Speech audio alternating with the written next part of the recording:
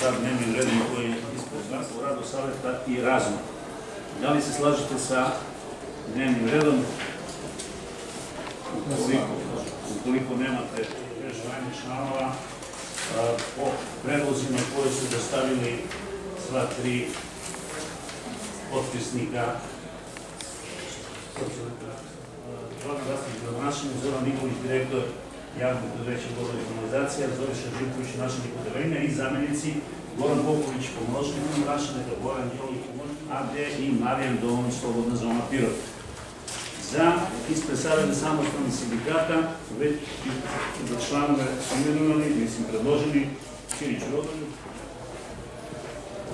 Da li se sada slažete da možemo da imenujemo i, i verifikujemo članstvo i zamjenika članstva Ima li protiv, ima li uzdržanih?